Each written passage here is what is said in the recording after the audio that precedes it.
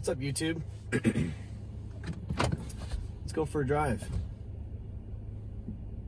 Today I'm going to be going on the highway, just kind of showing how Open Pilot works. Really simple use, just using the steering wheel here. First thing we're going to do, we're going to activate it. Just going to hit cruise control here.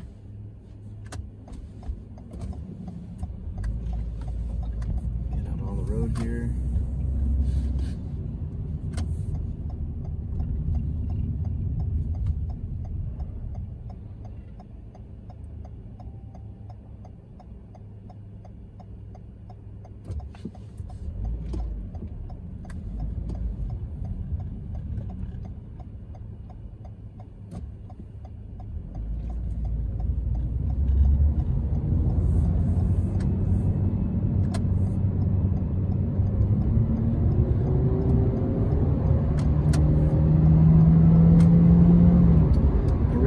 activate it, we're just going to hit set cruise control. We're going to set our speed.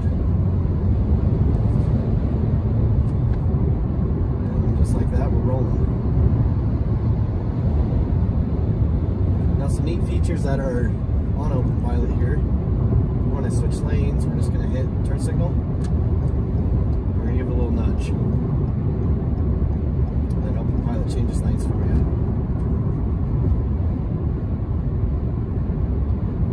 We're running 7.3 right now from OpenPilot. It's been a lot more improvement over 7.2.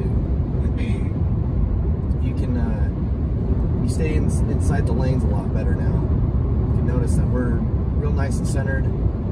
The steering wheel's not ping-ponging from side to side.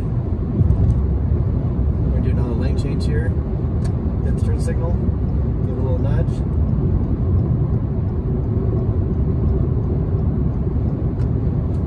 Just like that, nice and easy.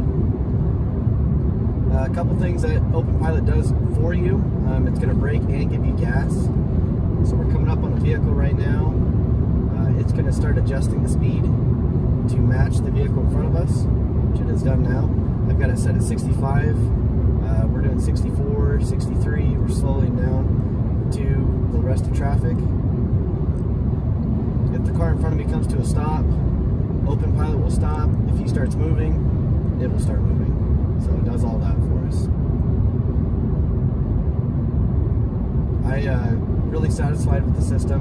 Uh, Comma AI team has done a great job with this. This is my only vehicle I've had it on so far, 2020 Toyota Corolla.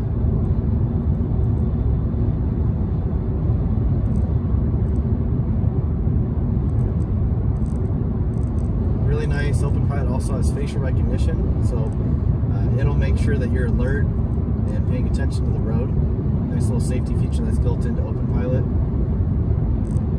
All my drives get saved into the cloud. Uh, Comma has a cloud that saves all the uploads.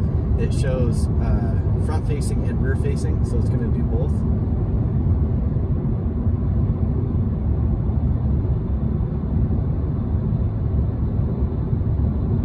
OpenPilot updates about every couple days. Um, right now, uh, it's on its probably fourth or fifth update with 7.3, just little minor tweaks.